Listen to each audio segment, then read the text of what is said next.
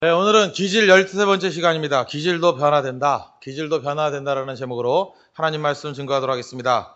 어, 12번에 걸쳐서 기질 설교를 했는데 그냥 끝내자고 하니까 마무리가 안 된 것 같습니다. 기독교는 변화의 종교라 그러는데 이 변화의 부분에 무게를 두고 다루지 않아서 이 변화의 부분에 무게를 두고 한번 다뤄보도록 하겠습니다. 그 성령의 기름 부음을 받으면 변화됩니다. 어떻게 변화가 되느냐? 성령의 열매를 거둔다는 것입니다. 오늘 갈라디아서 5장 22절 보니까 오직 성령의 열매는 아홉 가지죠. 사랑과 희락과 화평과 오래 참음과 자비와 양성과 충성과 온유와 절제니 이 같은 것을 금지할 법이 없느니라. 그러니까 변화받은 인격들, 변화받은 기질은 이런 성령의 아홉 가지 열매를 맺게 된다는 것입니다. 그 성령의 기름 부음 받았을 때 이 네 가지 기질이 어떻게 열매를 거두고 어떻게 변화가 되는지를 우리 간단하게 살펴보도록 하겠습니다. 첫 번째 다혈질인데 성령 받은 다혈질은 어떻게 변화가 되느냐? 어, 항상 외향적인 사람입니다. 다혈질은 항상 외향적이고 이렇게 발랄합니다. 그 성령 충만함 받고 난 다음에도 여전히 그 기질은 변화되지 않습니다. 여전히 발랄하고 여전히 외향적이고 남들에게 영향을 미치고 동정심이 풍성한 사람이 됩니다. 그래서 성령 충만하거나 그 이전이나 겉으로 볼때그 하는 행동은 별로 달라지는 것 같지 않습니다. 근데 다혈질이 성령 충만함을 받으면 제일 먼저 변화되는 게 뭐냐면 말이 변화됩니다. 말이. 이 대화가 변화가 됩니다. 옛날에는 주로 많이 쓰던 말이 세속적인 용어, 그죠? 그 다음에 또 뭐 음담 패설, 더러운 말 이런 거 많이 사용했습니다. 근데 다혈질이 그 다음에 언어가 바뀝니다. 새로운 어휘를 사용하기 시작합니다. 야 이놈아 이럴 때 뭐 형제로 바뀌고, 야 이 뭐야 그럴 때 자매로 바뀌고, 그다음 뭐 희생이라는 단어 쓰고 성령이라는 단어 쓰고 은혜라는 뭐 감사, 감격 용어가 합격버린다는 것입니다. 과거에 어떻습니까? 밤낮 이놈 저놈 뭐 골탕 먹인다 짜릿하다 뭐 열나 짜릿 뭐 이러던 사람이었습니다. 그런데 변화가 된다는 거예요. 언어가. 그래서 에베소서 5장 4절 보니까 누추함과 어리석은 말이나 희롱의 말이 마땅치 아니하니 돌이켜 감사하는 말을 하라. 이건 아마 다혈질이 변화되었을 때 가장 우리 어, 변화된 내용 중에 하나가 바로 이런 내용이라고 생각을 합니다. 이 다혈질은 어, 이렇게 밝긴 밝은데 의지가 약했습니다. 충동적인 인생을 사는 사람입니다. 그런데 성령의 기름 부음이 있으면 이제는 어, 자기 멋대로 사는 것이 아니라 계획대로, 말씀대로, 의지대로 살아가는 조직적인 인간으로 변화가 됩니다. 우리 다혈질의 대표적인 사람이 베드로라 그러지 않았습니까? 베드로는 어땠습니까? 좌충우돌, 지 멋대로입니다. 럭비공이에요. 도대체 공이 어디로 갈지 모를 정도의 모습이었습니다. 그런데 사도행전 3장에 보니까 제9시 기도 시간에 이렇게 나오잖아요. 이제는 규칙적으로 기도하는 사람이 되었다. 그걸 알 수 있죠. 그러니까 우리 다혈질이 정말 새벽 기도하기 힘듭니다. 다혈질 가운데 새벽 기도 하는 사람이 없어요. 다혈질의 특징이 뭔지 아십니까? 이 저녁에는 결심해요. 나는 뭐 평생 새벽의 사람이 될 거야. 뭐, 나 믿지. 뭐, 진짜 믿어주지. 막 옆 사람이 하면서 너도 나와야 돼. 너도 나와야 돼. 그죠? 막 다니면서 뭐 그렇게 얘기하면 베드로가 막 큰 소리 치잖아요. 다 주를 버릴지라도 그러면 다 새벽기도 안 나올지라도 나는 새벽의 자리를 지키리라 그런다고요. 깨보면 아홉 시고 뭐 이렇습니다. 베드로가 그랬잖아요. 큰 소리만 뻥뻥 치다가 한 게 뭐가 있습니까? 아무것도 한 게 없잖아요. 그런데 성령 충만함 받고 난 다음에 이 다혈질이 규칙적으로 기도하는 사람이 되더라는 것입니다.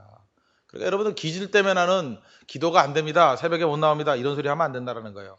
그죠? 성령의 능력이 임하게 되면은 다혈질이 이런 식으로 조직적인 인간으로 변화가 된다는 것입니다. 또 다혈질은 약속 잘 안 지킵니다. 이건 뭐 다혈질뿐만 아니라 최근에 그 젊은이들의 특징인 것 같기도 한데 여러분 기본적인 매너가 뭐냐면 약속을 지켜야 되는 거거든요. 그리고 약속 시간이 늦으면 늦는다고 연락을 해야 됩니다. 제가 이번에 그, 그 이번 연극했던 사람들 식사를 제가 한번 사준 적이 있습니다. 금주간에.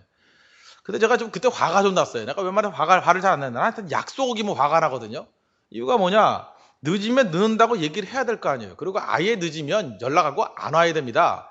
왜냐하면 식사에도 흐름이 있습니다. 기승전결이 있잖아요. 처음 식사할 때 어색한 모습, 그 다음에 뭐, 뭘 먹으면서 약간 녹아내림, 그 다음에 무르익음, 그 다음에 마지막 다 먹고 난 다음에 그 포만감과 아쉬움, 그렇게 해서 기승전결이 끝나고 난 다음에 식사 그 하면서 이렇게 교제를 나누고 기쁨으로 헤어지는 겁니다. 그 식사에는 분명히 흐름이 있어요. 흐름이 있기 때문에 일단 식사 시간이 늦으면 식사의 흐름을 깨버리는 것입니다. 그리고 늦게 오면 오면 안 돼요. 근데 어떤 한 멍청한 녀석이 중간에 와가지고 식사 분위기를 다 깨버리더라고요. 그러니까 두 가지 악함이죠. 첫째, 늦은 악함. 둘째, 늦었는데도 온더 악함. 그래서 내가 쫓아내 버렸어요.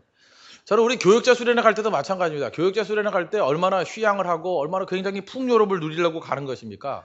근데 그때도 지각하는 이런 바보 같은 무리가 있다고요. 그 제가 버리고 가 데리고 안 간다고.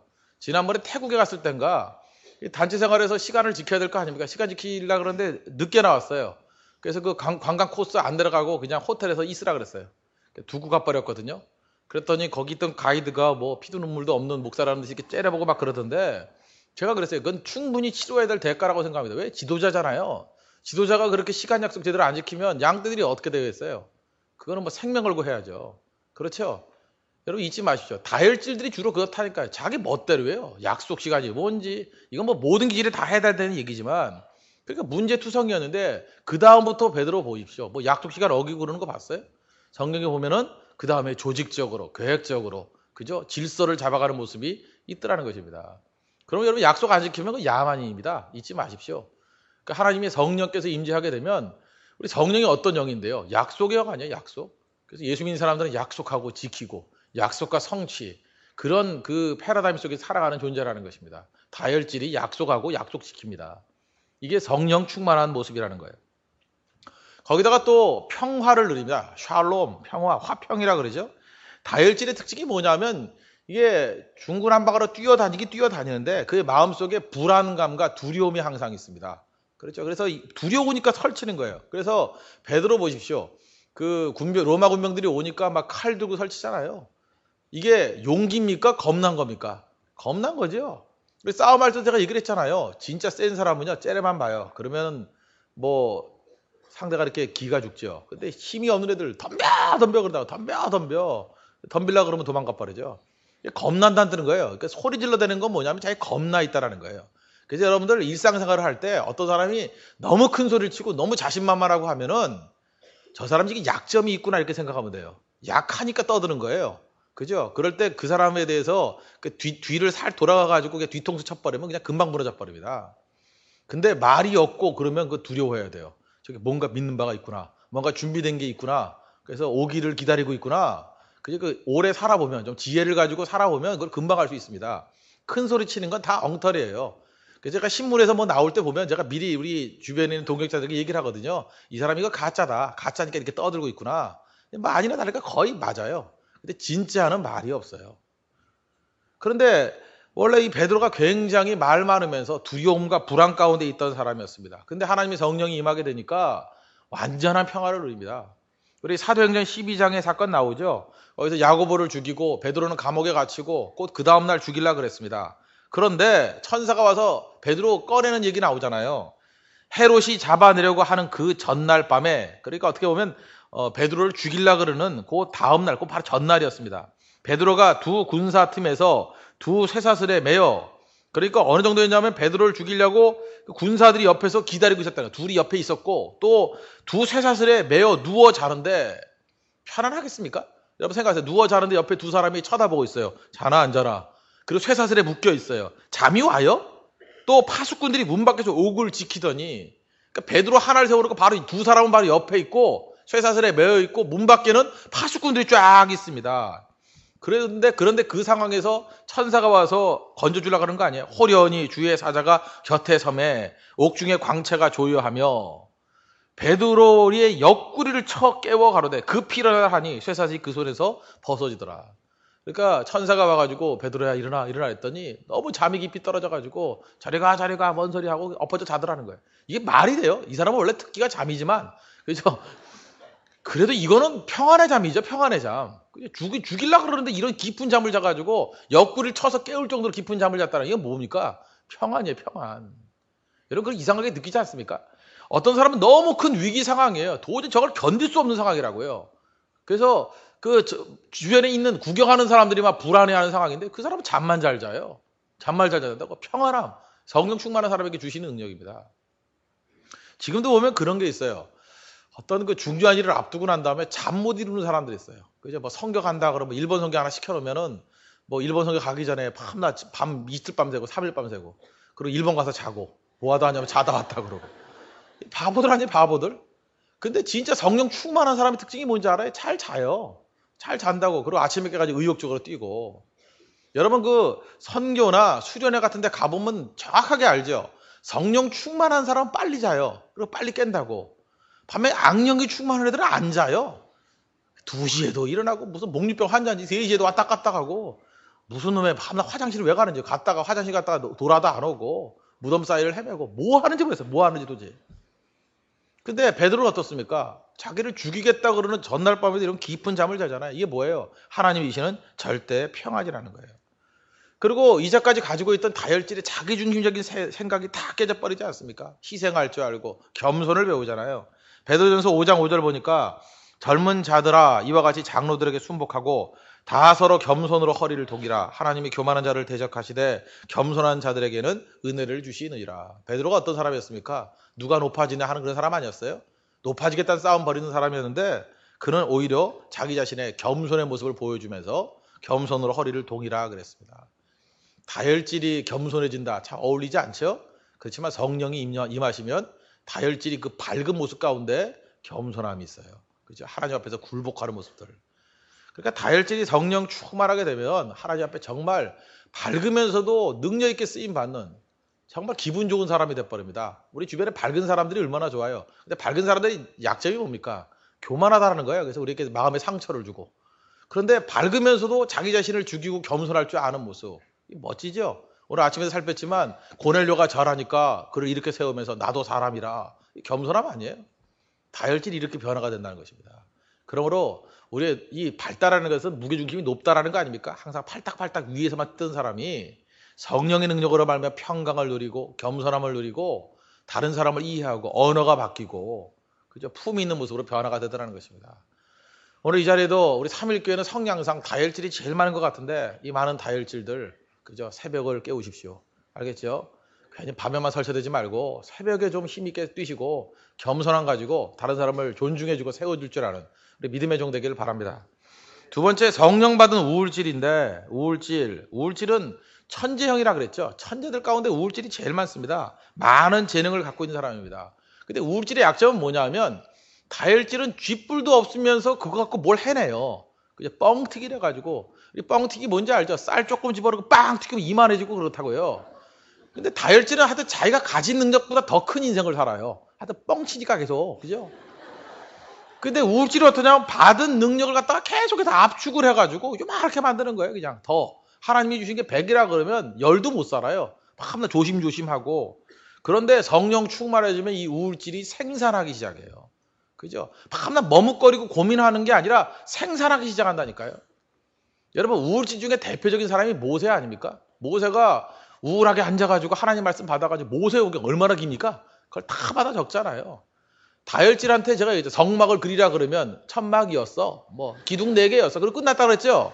우울질은 어때요? 꼭 하나하나 얘기하잖아요. 뭐 실을 세 개를 꼬는데 색깔이 뭐고 그다음에 껍질을 뭐로 하고 천막도 첫, 겹, 첫 번째, 두 번째, 세 번째 겹이 무엇이고 색깔이 무엇이고 그러니까 우리가 모세 오경을 통해 가지고 읽으면서 성막을 재현할 수 있을 정도잖아요. 무슨 얘기인지 아시겠죠?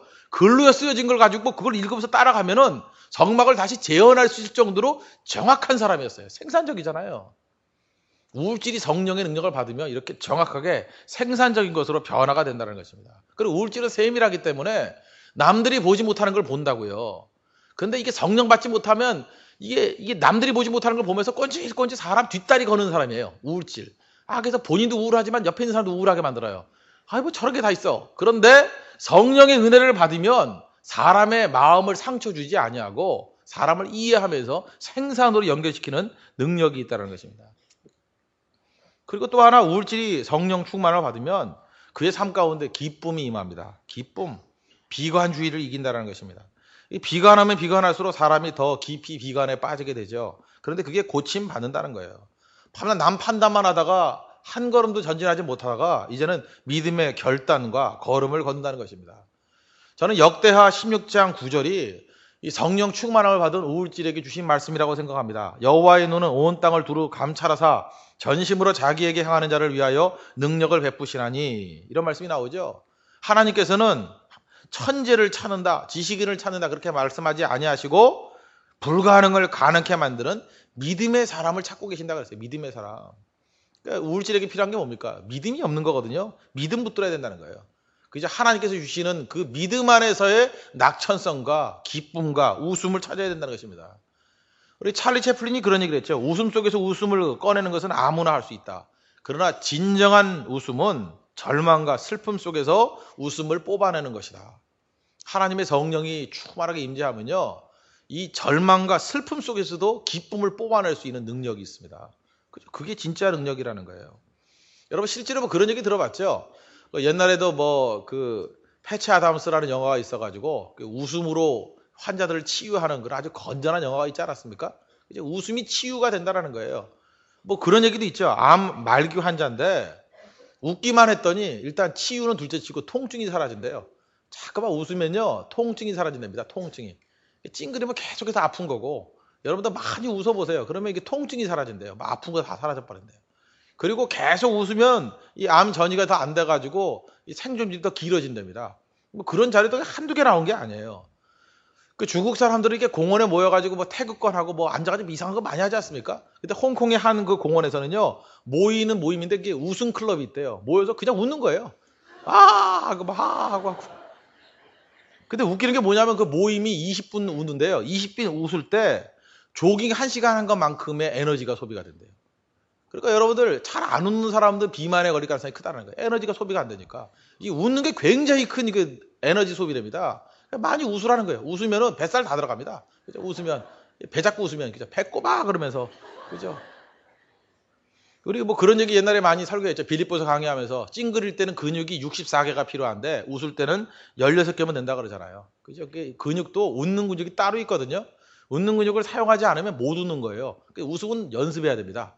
그죠? 이렇게 운동해서 근육을 기르듯이 웃는 근육을 연습시켜야 돼요. 그래서 거울 보고 자꾸만 웃어야 됩니다. 이런 웃음, 저런 웃음, 자꾸만 웃어야 된다는 거예요.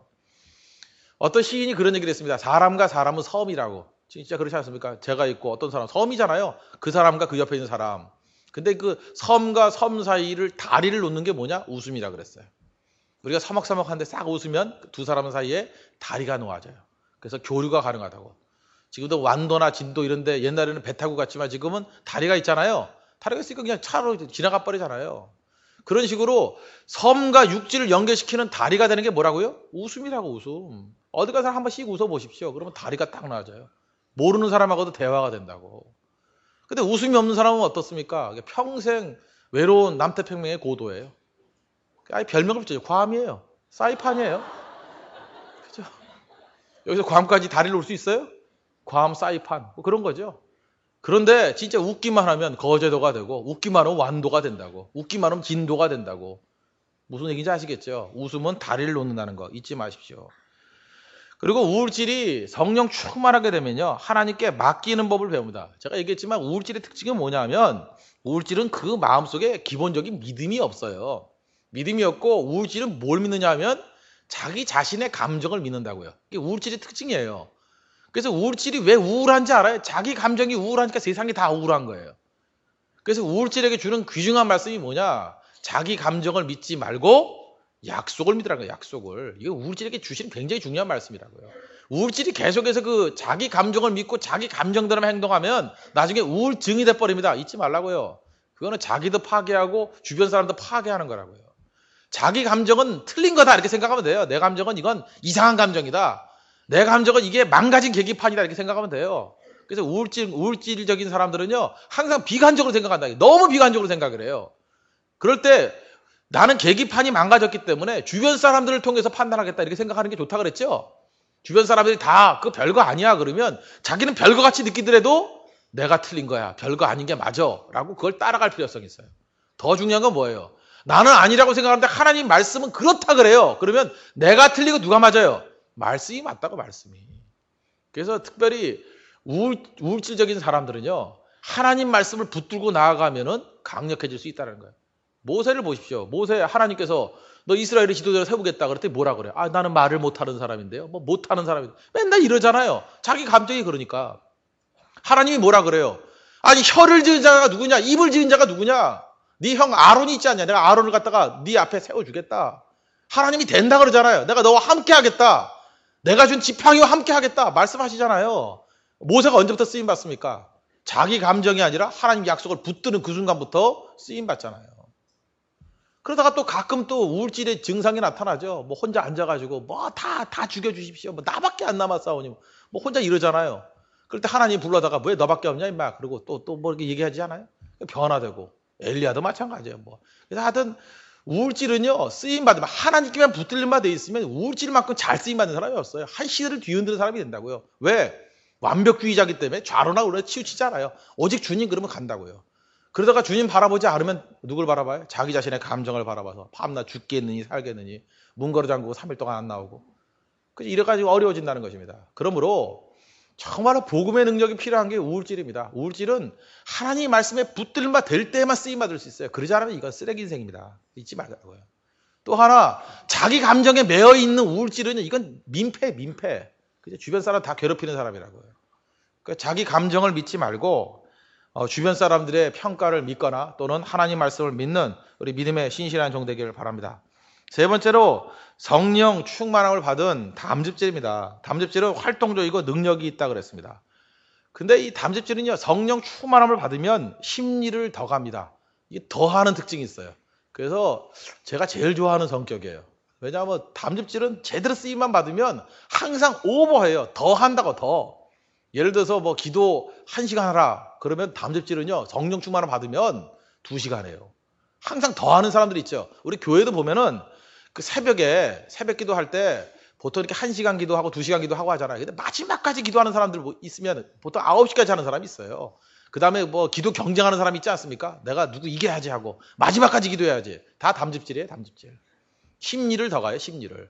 근데 되게 이런 사람들이 교회의 기도 분위기를 세우고 전체를 이끌어가는 능력이 있더라는 거예요.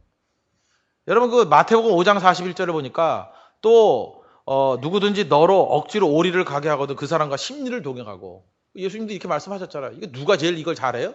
담즙질이 제일 잘한다고요. 담즙질이 성령의 충만을 받으면 더 열심히 뛸 줄 안다는 것입니다. 사도 바울이 담즙질의 대표적인 사람 아니었습니까? 그냥 말씀 증거해도 하나님 앞에 잘 쓰임 받는 종이었습니다. 그런데 고린도후서 11장에 보니까 이는 더 갑니다. 뭐 좌충우돌이에요, 그냥. 유대인에게 40이 하나 가만매를 다섯 번 맞고 뭐 세 번 퇴장을 맞고 한 번 돌로 맞고 누가 맞으랬나 뭐 맨날 이런 거 나오잖아요. 세 번 파산하는데 일주일에 기쁨 속에 보내고 이런 얘기가 쭉 나오는 이유가 뭐예요? 담즙질은요 하나님 앞에 충성을 해도 하나님이 원하시는 수준보다 더 하는 스타일이에요. 더 하는 스타일. 얼마나 중요합니까? 성령 충만함 받은 담즙질 하나가 나오면 그 가정 변화되고요. 교회가 변화되고 민족이 변화돼요. 민족이. 저는 우리나라에도 그런 사람이 좋아서 믿음 좋은 성령 기, 성령의 충만한 성령의 기름 부음 받은 좀 대통령 하나 나왔으면 좋겠어요. 그죠? 그러면 우리나라 다 변화됩니다. 담즙질 하나가 나오면 그죠? 성령에 푹 담갔다 나온 그죠? 성령의 은혜 가운데 담겼다 나온 담즙질 하나 나오면 우리 민족이 살아요. 진짜 민족이 산다고. 근데 그게 아니면 문제가 되는 거죠.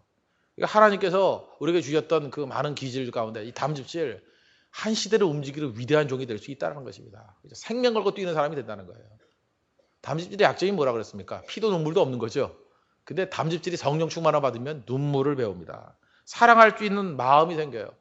그래서 사도행전 20장에 보면은 에베소 장로들과 헤어지는 장면이 나오는데 거기에 눈물이라는 단어를 다윗이 아, 바울이 두 번 사용합니다. 19절 보니까 곧 모든 겸손과 눈물이며 내가 눈물로 너희들 권고했다. 그런 게 나오고 20장 31절 보니까 너희가 일깨워 내가 3년이나 밤낮 쉬지 않고 눈물로 각 사람을 훈계하던 것을 기억하라. 성령 충만해지면 담즙질이 눈물을 흘립니다. 그거 아십니까? 눈물을 흘린다고. 눈물이 능력 있는 모습이 된다는 거예요. 눈물하고도 연결되는데 담즙질은 워낙 그 어, 원리 원칙을 중요시 여기기 때문에 그 원리 원칙을 버린 사람들에 대해서 이렇게 punishment, 제재를 가하는 경향이 있습니다. 잘 용납을 못해요. 그래서 1차 전도여행을 할 때 바울과 바나바가 전도여행을 떠나지 않았습니까? 근데 중간에 부잣집 아들이 마가가 힘들다 그래가지고 집에 가버렸죠. 그럴 때 2차 전도할 때 다시 간다 그러니까 바나바는 한번 용서해 주자, second chance를 주자, 그리고 데려가자 그랬고 바울은 안 된다 그랬죠. 왜 안 된다 그러죠? 바울은 일종의 그 담즙질의 대표적인 유형이었기 때문에 저런 놈은 한번 본때를 보여야 돼. 될성 싶은 나오는 떡집부터 틀려. 잘라버려야 돼. 이런 사람이었다고요. 그죠? 그런 사람이 나중에 변화가 돼가지고 노년에는 그죠? 담즙질이 성령 충만한 가운데 변화가 돼서 마가조차도 용납하는 사람으로 변화되잖아요. 어떻게 합니까?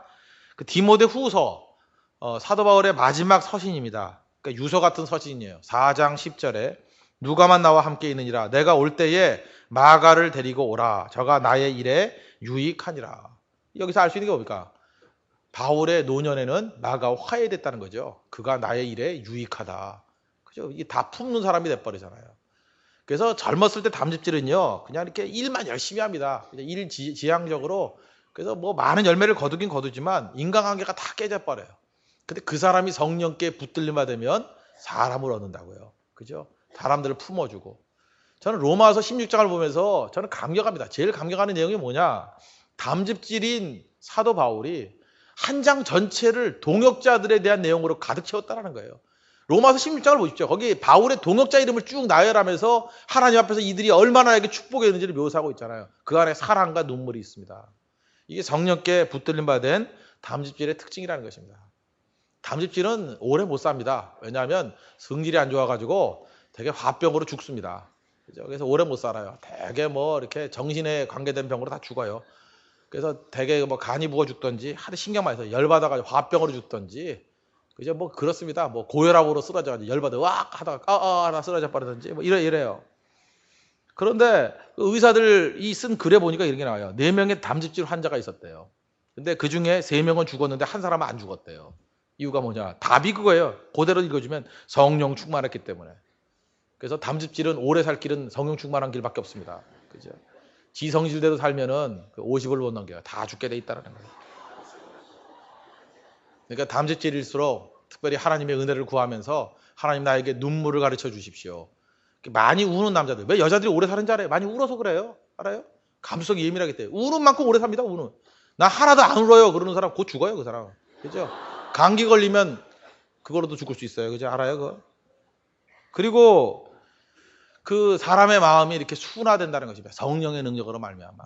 그래서 여러분 눈물 흘리는 만큼 자기의 가슴 속에 있는 그런 답답하고 더러움들이 쉽게 들어간다는 것을 잊지 말고 우리가 이 담즙질의 강점인 생산지향적이고 일지향적인 것들이 눈물과 함께 겸손함과 함께 하나님 앞에서 용납하는 사랑과 함께 품어지는 믿음의 종 되기를 바랍니다.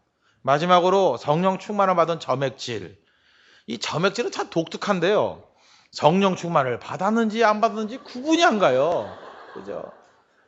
이 도대체 이건 칼라가 없어요. 칼라가. 그래서 오히려 이렇게 보고를 많이 합니다. 오히려 성령 충만함을 받, 고 난 다음에 더 미지근해 보인다라는 인상을 받는데요. 왜 그러냐? 성령 충만함을 받기 이전에 효를 한 거예요. 성령 충만한 척. 그래서 교회 안에서 믿음이 하나도 없는데 믿음이 너무 좋은 것 같이 보이는 사람이 누구냐? 다 점액질이에요. 점액질은 인간관계 중심적이기 때문에 쇼를 잘해요. 그래서 우리 가운데 그런 사람 있지 않습니까? 아주 열심히 있고 헌신적이고 뭐 이래 충성 다하는 사람 같은데 갑자기 뭐 예수 안 믿겠다 고 교회 안 나와버리고 그런 사람 기질이 뭐냐면 다 점액질이에요. 점액질. 이 작가 쇼한 거거든요. 안 믿으면서 믿는 척하고. 그래서 이렇게 설교할 때도 그냥 이렇게 이런 거 잘해요. 아멘, 할렐루야 이렇게 잘하는 사람이 점액질이 많아요. 그죠? 왜? 그걸 통해서 내가 믿음 있는 척 하는 거. 그 쇼를 너무 잘한다니까? 그래서 많은 사람이 속아 넘어가요. 목사도 속고 교인도 속고 다 속아요. 다 속아가지고 그런 사람에게 중직을 줘놓으면 그 다음에 딴짓 하죠. 속기 쉬운 사람이 점액질이라고요. 그러니까 성령 충만함 받기 이전에 이미 성령 충만한 척하고 살았죠. 그러다가 이제 어쩌다가 진짜 성령 충만을 진짜 받은 거예요. 그럼 그때 자기 삶 가운데 이제 진실됨이 돌아오는 거예요. 그래서 진실되게 뜨거움이 조금 조금씩 보일 때 다른 사람들이 보일 때 어때요? 쇼할 때가 훨씬 뜨거웠어요. 가짜지만 그죠? 가짜일 때가 더 반짝거렸다고. 그러니까 이 사람은 오히려 그걸 잘 모르는 그런 사람입니다. 그래서 신앙 좋은 척 하는 걸 많이 하는 사람이에요. 근데 이 사람이 진짜 성령의 능력을 만나면 변화되기 시작하죠. 변화된 특징이 뭐냐? 능동적으로 참여하기 시작한다는 거예요. 이전까지 빈정되면서 참여했습니다. 빈정, 미정되면서 뒤에서 딴소리하고. 그런데 이제는 방관자가 아니라 적극적으로 참여하는 사람이 있다는 거예요. 진심으로. 진심으로. 이 점액질은요, 열심히 없어요. 항상 미지근하고 빠지지도 않아요. 가긴 가는데, 제가 얘기했잖아요. 궁시렁 되면서 따라온다니까. 뭐, 투덜투덜 되면서 따라 가요. 그런데 그 다음부터는 성령 충만을 받고 난 다음에 열심을 갖고 간다고요. 그리고 이 점액질이 제일 두려워하는 게 실패에 대한 두려움이 있습니다. 그런데 이 성령 충만하고 난 다음에는요, 망신도 두려워하지 않아요. 망신도. 이 점액질의 대표적인 사람이 도마 같은 사람 아닙니까? 도마. 도마는 항상 지각하고 그죠? 예수님 십자가 지실 때 도망치고 부활하고 난 다음에도 안 나타났잖아요. 혹시나 모르고. 그래서 마지막에 다 만나고 난 다음에 혼자 늦게 와가지고 막 큰 소리 치잖아요. 내가 예수님 뭐 못 자고 뭐 손 넣어보고 뭐 창자고 만져봐야지 알겠다 뭐 이러지 않습니까? 뭐 이런 사람에서 이런 이런 사람이 병 하나 되고 난 다음 어떤 일이 벌어집니까? 능동적으로 인도까지 가가지고 순교하잖아요. 복음 증거하잖아요. 그러니까 점액질은 성령의 충만함 받으면은 수동적으로 끌려가던 인생이 능동적으로 적극적으로 참여하는 모습이 되더라는 것입니다. 그리고 무엇보다도 21세기 상황에서는 점액질이 성령 충만함 받으면 텔레비전을 절제합니다. 그죠? 그게 제일 중요해요. 사실 이게 제일 중요할 거예요. 텔레비전 없이는 못 살던 사람이 이제는 텔레비전을 절제할 줄 알아요. 텔레비전을 끄고 성경을 읽고 묵상할 줄 알고, 그죠? 텔레비전을 끄고 저녁 예배 나올 줄 알아요. 그 점액질은 텔레비전에 재밌는 프로 있으면 절대 예배 안 나옵니다. 그죠? 텔레비전이 우상이기 때문에. 그 다음에 이 사람에게 제일 큰 시험이 뭔지 아십니까? 리모컨 망가졌을 때. 제일 큰 시험인데, 이제는 리모컨 망가져도 마음의 상심을 안 해요. 이제 하나님의 뜻인 줄 알고. 그리고 믿고 의지하는 모습으로 나아가게 되더라는 것입니다. 이 점액질의 대표적인 사람이 아브라함이라 그랬죠. 그러니까 나쁜 거 아닙니다. 아브라함 보십시오. 항상 미적미적되고 성실하긴 성실하잖아요. 성실한 것 같으면서도 밤낮 자기 아내를 누이라 그러고 도망가기를 찾고 이러잖아요. 그러다가 하나님의 성령의 충만을 받고 나니까 결단해서 움직이고 그 다음 어떤 일이 벌어집니까? 하나님을 믿고 의지하잖아요. 그래서 성경에서 이 점액질은 아브라함에게 주셨던 최고의 말씀이 무엇입니까? 우리 갈라디아의 표현에 의하면 아브라함이 하나님을 믿음에 이것을 그의 의로 여기셨다. 이신 칭의가 나온 근거 구절 아니에요. 믿은 것을 의로 여기셨다. 그러니까 점액질에게서 가장 중요한 게 무엇입니까? 믿음 가지고 나가는 것입니다. 믿음 가지고 나아가면 하나님께서 아브라함을 사용하셨듯이 능력 있게 사용해 주신다는 것입니다. 여러분의 성실성에 믿음을 가미하십시오. 그죠? 이런 점액질의 인간관계 중심적인 성실성에 믿음이 가미되면 그것이 한 민족을 이끌어가는 원동력이 될 수도 있다는 것입니다. 그런 의미에서 점액질적인 사람 좋은 인간관계 좋잖아요.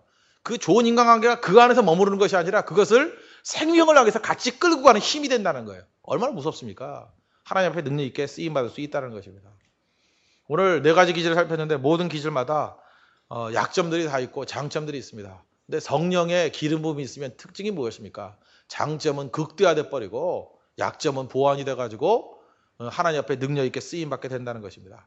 우리의 모든 기질마다 어떤 기질이든 간에 하나님께서 어, 버리는 기질이 없습니다. 다 귀중한 기질입니다.